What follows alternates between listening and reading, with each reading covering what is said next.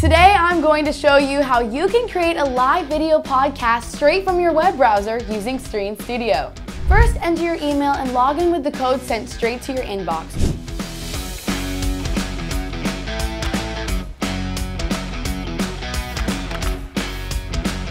On the top right, you can select your language by clicking on the flag icon.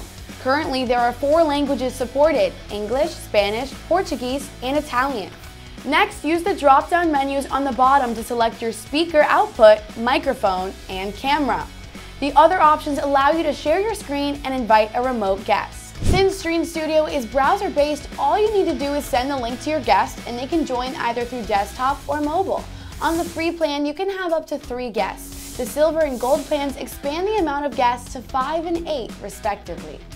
On the right hand is where you can customize your production. On the top, you'll see your camera and the cameras of your invited guests. You can add names to all the feeds you're receiving and using the lower thirds tool, you can stylize your text. Using the AB options, you can select what layout you'd like to use to display you and your guests during your broadcast. Finally, you can add a logo and background to your production for an extra layer of customization. Play around with these to make your production unique and stand out.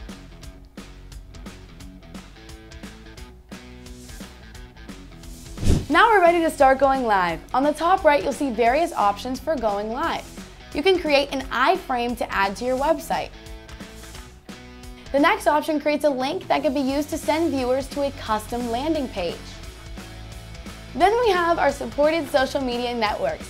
We can push to Facebook, YouTube, and Twitch. Our final options allow you to push directly to a custom RTMP, as well as being able to create an HLS link. When you're ready to start streaming, click the Go Live icon above the left of your production preview. Fill in the information of your broadcast, select your destinations, and go live. And that's it, you're live.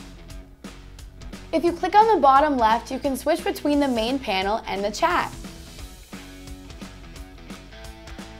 If you're subscribed to any premium plan, you can privately chat with your guests and chat with commenters from social media. Once you finish your broadcast, it'll be saved directly to the cloud and you can access it from any time by clicking on the Recorded Broadcast tab on the left side.